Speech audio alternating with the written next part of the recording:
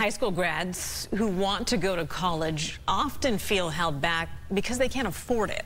A little later this morning, the mayor, along with local school officials, are making a major announcement this morning, and hey, we have it for you here first. Constance Carroll is with the San Diego Community College District. She's the chancellor, and she is here along with the San Diego Unified District Superintendent, Cindy Marten. First of all, ladies, good morning, and thank good you for morning. joining me. Good morning. Well, uh, Constance, I'm going to let you sort of tell everybody what's happening here because this is a groundbreaking program is. that is really benefit, uh, benefiting the high schoolers in our community. Yes, this program is called San Diego Promise. And the Promise programs around the country are part of a movement that would make uh, community colleges free of tuition for deserving students.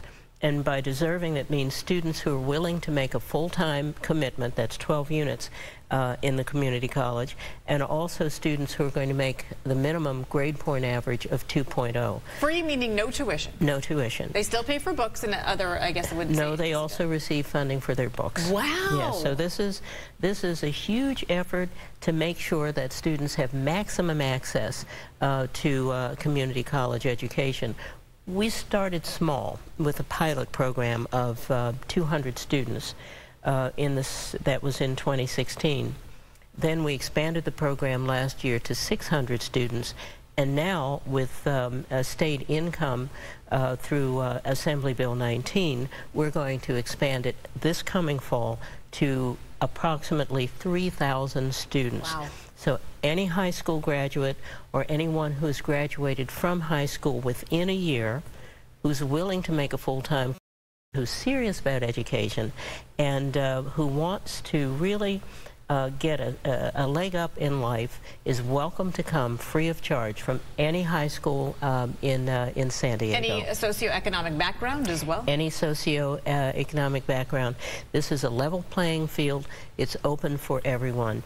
Um, we're concerned because um, uh, most new jobs require some level sure. of college now uh, for computer backgrounds and, and other types of considerations. And so uh, we want to make sure that we have maximum accessibility to high school. And, and this Promise program gives students exactly that. Well, thank you for doing mm -hmm. what you're doing right here in our community. This is going to make a huge, huge yes. difference. And mm -hmm. Cindy, let's bring in you uh, onto this conversation as well because talk about the feedback that you get from some of your high school seniors who maybe otherwise just could not afford to, to go to school? We're seeing such a high success rate with this program thanks to the leadership of Dr. Carroll really bringing this vision to life, saying to our students, we're going to make you a promise and we're going to keep it and you can go to college for free. And what we're hearing is, like you said, the books and there's also counseling, support services, guidance services. So when our students transition from high school to college, kids who thought they weren't even going to go to college, they're going and they're getting support and what we're hearing is these students are doing better. Students in the Promise program, for example,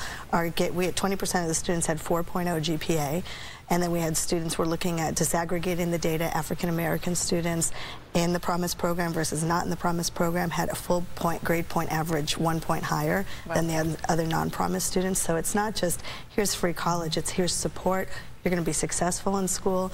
The dream is possible. The college going dream is possible. And then they leave the college system, the community college system, and they're employable right here in San Diego. A lot of people might be wondering, Constance, who pays for this? The Californians pay among the highest taxes in the nation. Is this a taxpayer-funded program? Absolutely not.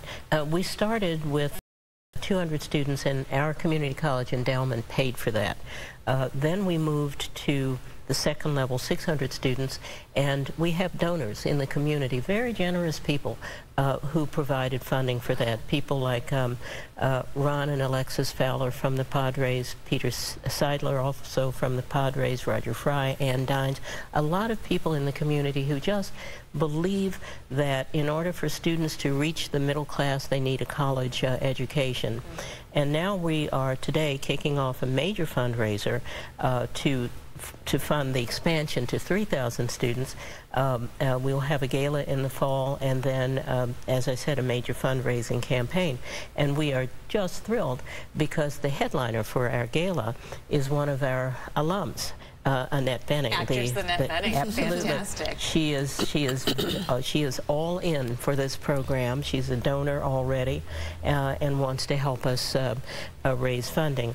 Our mayor, Kevin Faulconer, co-chairs the effort, so uh, we're off and running. And uh, so we, we are open this fall for, for any high school student or anyone who's graduated from high school within a year. Fantastic. Thank you both for what you're doing to make this program possible. Uh, Constance Carroll, District Chancellor, and also uh, District Superintendent for the San Diego Unified School District, Cindy Marten. Thank you, ladies. Yeah, thank you. More to come from that news conference at, uh, is it 10 o'clock this morning?